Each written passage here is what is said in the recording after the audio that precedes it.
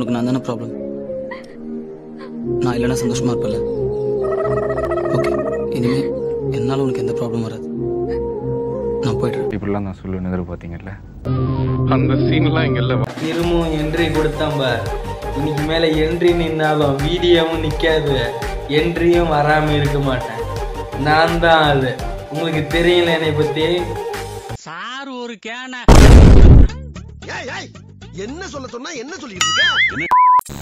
மாசம் மாசம் ஒரு கிரிக்கெட்டை வந்து சிக்கிறமே வேலை பிரச்சனை வீட்டு பிரச்சனை காசு பிரச்சனை லவ்வர் பிரச்சனை பொண்டாட்டி பிரச்சனை இந்த மாதிரி பல பிரச்சனைகள்ல இருந்து தப்பிக்கத்தான் அந்த மனுஷன். கொஞ்ச நேரம் இதை மறந்து சிரிச்சிட்டு வரலாமே அப்படின்னு சோசியல் மீடியா பக்கம் வர்றாங்க. இங்க வந்து பார்த்தா ஏற்கனவே பிரச்சனை இருக்கவங்களுக்கு இன்னும் பிரச்சனை ஏற்றி விடுற மாதிரி டிப்ரெஷன் ஏற்றி விடுற மாதிரி ஒரு சில பேர் உலாவிட்டு வர்றாங்க சோசியல் மீடியாவில் அவங்களெல்லாம் பார்க்கும்போது ஐயோ என்னடா இது? அப்படின்ற மாதிரி ஆயிருது.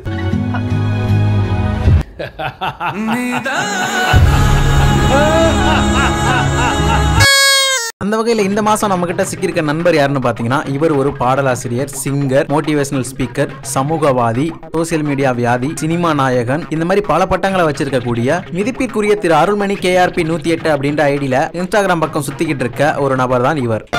பேரை கேட்ட உடனே சும்மா அதறது இல்ல போடணும்னு நினைச்சீங்கன்னாவே போட்டுருவாங்கடா. கேஸ் எடுக்கிறவங்களே நாங்கடா. கேஸ் என்னைய அடிக்கணும்னு நினைச்சாவே போட்டுருவானுங்கடா. கேஸுக்காரங்களே நாங்க தான்டா கேஸுக்கு இந்த வீடியோல இவரை பத்தி தான் நம்ம ஒரு சிரிப்புரை ஆற்ற போறோம். வீடியோ ரொம்பவே இன்ட்ரெஸ்டிங்கா இருக்கும். இந்த வீடியோ பிடிச்சிருந்தா மறக்காம லைக் கமெண்ட் ஷேர் சப்ஸ்கிரைப் பண்ணி விட்டுக்கோங்க. அண்ட் வாங்க வீடியோக்குள்ள போலாம். ஒரே ஒரு வீடியோ தான் போட்டாரு. ஒயிட் கலர் ஷர்ட் போட்டுக்கிட்டு கேஸுக்காரங்களே நாங்க தான்டா அப்படின்னு சொல்லிட்டு ஒரே ஒரு வீடியோ போட்டாப்ல அவர். இந்த ஒரு வீடியோ ட்ரெண்ட் ஆன உடனே அந்த மனுஷன் எடுத்தாரு பாருங்க அவதாரம். சோசியல் மீடியா ட்ரெண்டிங்கே இவர் தான் சரி ஓகே முதல்ல ஒரு சிங்கரா இவர் எப்படி தன்னோட டேலண்ட்டை வெளிப்படுத்திருக்காரு அப்படின்றத பார்ப்போம்.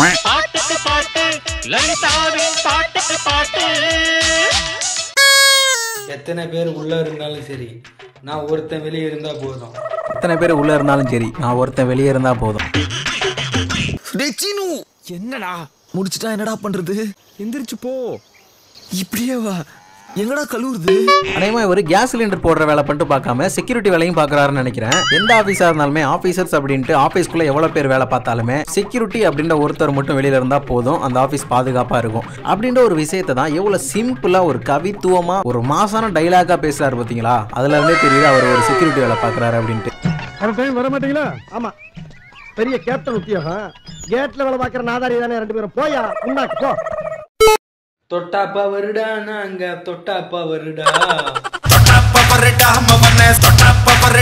ஆஹா என்ன மாசு என்ன வாய்ஸ்? சங்கர் மகாதேவனே சைடில் அடிச்சுட்டு போயிட்டாரியா. என்ன மாசுங்க? தம்பிக்கு. அடுத்த வரி என்னன்னு தெரியல போல அதான் தொட்டா பவருடா தொட்டா பவருடான்ட்டு முதல் வரியை ரெண்டாவதா போட்டு ரெட்டை கிழவி பாட்டு மாதிரி பாடிட்டாரு. பாடுறா பாட்ட. தொட்டாப்பா வருடா நாங்க தொட்டாப்பா வருடா. தொட்டாப்பா வருடா நாங்க தொட்டாப்பா வருடா.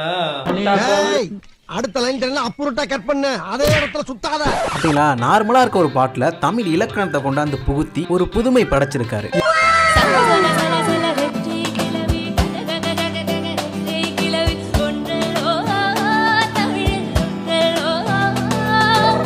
தொட்டாப்பா வருடா நாங்க தொட்டாப்பா வருடா.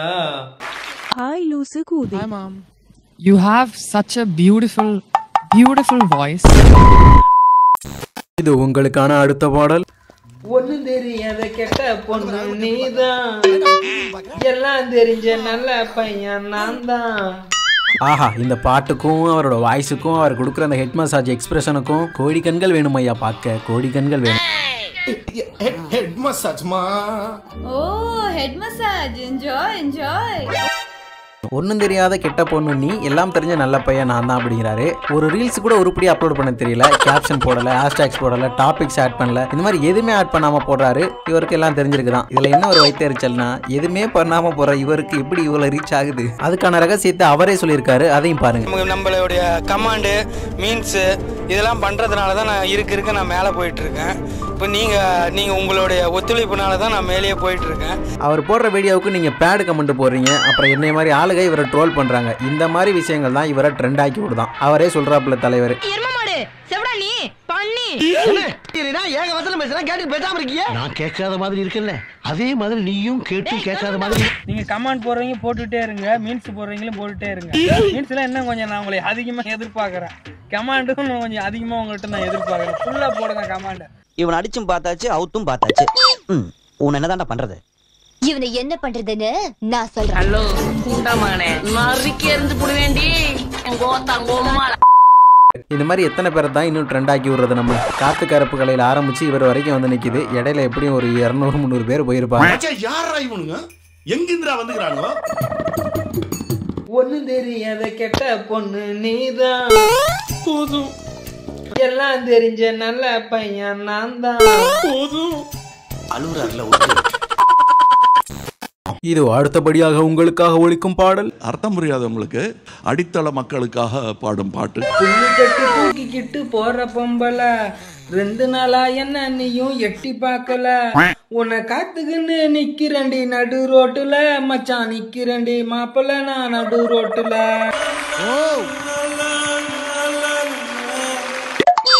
ஆஹா மிகவும் அருமையான பாடல். தமிழ் பாடல் வரிகளில் ஒரு புதுமையை புகுத்துறதுல இவருக்கு ஒரு முக்கிய பங்கு இருக்குன்னே சொல்லலாம். ஏன்டா இப்படி பேசுற? ஒண்ணு இல்லடா. எல்லாம் சரிடும்டா கவலைப்படாத மச்சான். பயமா இருக்குடா. ஏன் சொல்றேன்னு பார்த்தீங்கன்னா இந்த பாடல் வரிகளோட ஒரிஜினல் லிரிக்ஸை கேட்டுட்டு வாங்க புல்லு கட்டு தூக்கிக்கிட்டு போற பொம்பளை. காப்பிரைட் வராம இருக்கணும்ல. அட காத்துக்கிட்டு நிக்கிறண்டி தென்னந்தோப்புல. ஓகே தலைவன் இப்ப பாடின வரிகளை கேளுங்க. புல்லு கட்டு தூக்கிக்கிட்டு போற பொம்பளை. ரெண்டு நாளா என்ன நீயும் எட்டி பார்க்கல. உன்னை காத்துக்குன்னு நிக்கிறண்டி நடு ரோட்டுல. மச்சான் நிக்கிறண்டி மாப்பிள்ள நான் நடு ரோட்டுல. பாத்தீங்களா ஒரிஜினல் லிரிக்ஸ்ல இருந்து அவர் சில ஆல்டர்னேஷன் பண்ணி அந்த பாடல்ல இன்னும் இவரோட லிரிக்ஸை ஆட் பண்ணி அந்த பாடலுக்கு ஒரு புதுமையை தேடி தர்றாரு கேட்கவே அவ்வளவு அருமையா இருக்கு அப்புறம் இன்னொரு விஷயம் என்னன்னு பாத்தீங்கன்னா மச்சான் நிக்கிறண்டி மாப்பிள்ளனா நடு ரோட்ல இந்த வரிகள் மூலமா மக்களுக்கு என்ன சொல்ல வர்றாருன்னா நான் ஒரு வானவில் நண்பர் அப்படின்றத சொல்ல வர்றாரு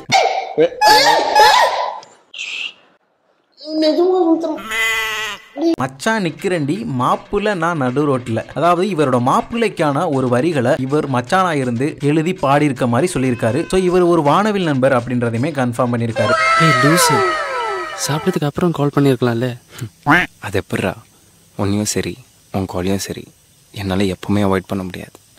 உனக்கு எப்படி உங்கள் அப்பா ரொம்ப முக்கியமோ அதை விட நீ எனக்கு முக்கியம். இவர் பாடும்போது அவரோட கைகள் அப்படி அசைக்கிறார் தெரியுங்களா? அந்த அசைக்கிறது மூலமா தான் அவருக்கு நிறைய ராகங்கள் நிறைய பாவங்கள் நிறைய சோகங்கள் எல்லாமே கிடைக்குது. அதனால தான் இவரால் இவ்வளோ அழகா அந்த பாடல்களை பாட முடியும் புல்லு கட்டு தூக்கிக்கிட்டு போற பொம்பளை ரெண்டு கொஞ்சம் ஏஞ்சி அப்படி போக சொல்லுங்க. இல்ல நான் கூட நான் அங்க போய் நிக்கிறேன் மேடம். சத்தியமா இங்க உட்கார எனக்கு பிடிக்கல. ஓகே இதோ அடுத்தபடியாக உங்களுக்கான பாடல். எத்தனை பேர் வந்தாங்கடா எத்தனை பேர் போனாங்கடா ஆனா சாதிச்சவங்க சில பேரு தாண்டா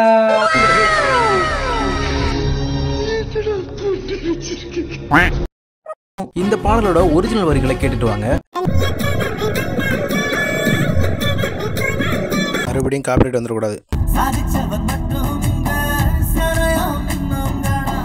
இவர் ஒரு புதுமையை சேர்த்த ஒரு புது வரிகளை கேளுங்க. எத்தனை பேர் வந்தாங்கடா? எத்தனை பேர் போனாங்கடா? ஆனா சாதிச்சவங்க சில பேரு தாண்டா அதாவது எத்தனை பேர் வந்தாங்கடா எத்தனை பேர் போனாங்கடா? சாதிச்சவன் மட்டும் இங்க சிலையா நின்னாங்கடா? அதை எப்படி போனவங்க சிலையா நிக்க முடியும்? அடக்கம் தானே பண்ணிருப்பாங்க அவங்கள? அப்படின்ற இந்த வரிகள் இருக்க பிழைகளை கண்டுபிடிச்சு அந்த வரிகளுக்கான ஒரு மாற்றத்தை கொடுத்து சில பேர் தான் அப்படின்ற ஒரு வார்த்தையை அந்த இடத்துல ஆட் பண்ணி இவர் அந்த பாடலை அந்த பிழையில இருந்து திருத்தி இருக்காருன்னா சொல்லணும். இவர் தப்பா பாடியிருக்காருன்னா சொல்லவே கூடாது. இவர் அந்த பாடல் வரிகளை திருத்தி பாடியிருக்காரு. ஆனா சாதிச்சவங்க சில பேரு தாண்டா. You, thank you.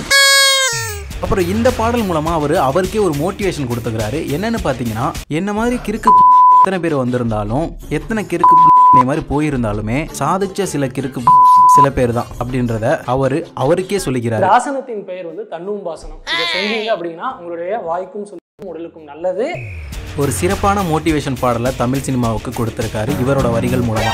நான் வந்து என்னுடைய உணர்வை வந்து ஒரு வார்த்தையாக சொல்கிறேன் அதை அவர் உள்வாங்கிட்டு ஒரு மியூசிக் ப்ரொடியூஸ் பண்ணுறாரு அந்த மியூசிக் கேட்கும்போது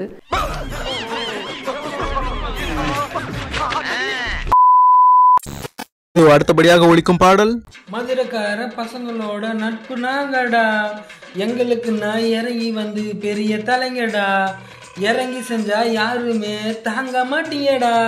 நாங்க இறங்க நாளையுள்ள யாருமே வர முடியாதுடா. சந்தோஷமே. லூசு பூண்டையப்பா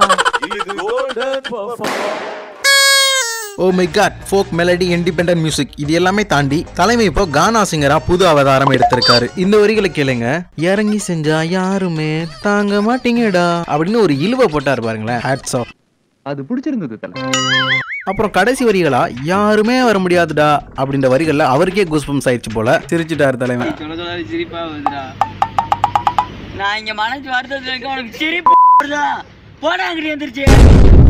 இதுக்கப்புறம் எவனாச்சும் ரத்த கொதிப்பு மூத்திர கொதிப்பு அப்படின்னு பாட்டை போட்டு வந்தாலும் அவனெல்லாம் தூக்கி சாப்பிடுற அளவுக்கு தலைவன் பாட்டு போட போறாரு கானால இறங்கி. கேஸ் சிலிண்டரு கேஸ் சிலிண்டரு ஊசலை கிட்ட நாயிலன்று மொபைலில் புக்கு பண்ணு சிலிண்டர் வாங்கி ஃபக்கு பண்ணு. ஹெச்பி கேஸில் ஒன்று இண்டனே கேஸில் ரெண்டு. என்ன என்ன எழவி அது? சினிமாவில் அவருடைய முதல் கானா பாடல் கேஸ் சிலிண்டரை பற்றி தான் இருக்கும் அப்படின்றத அகில இந்திய gas cylinder delivery boy association சார்பாக நான் ஆணித்தனமாக இந்த இடத்துல சொல்லிக்க விரும்புகிறேன் இடத்தில் நாங்கள் மகிழ்ச்சியுடனும் ஆணவத்துடனும் தெரிவித்துக் கொள்கிறோம்.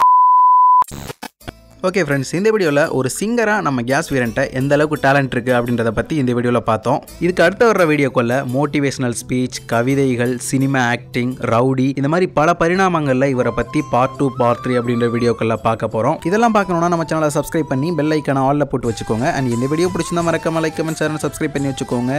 தேங்க்ஸ் ஃபார் வாட்சிங் ஃப்ரெண்ட்ஸ் நெக்ஸ்ட் வீடியோவில் மீட் பண்ணுவோம்.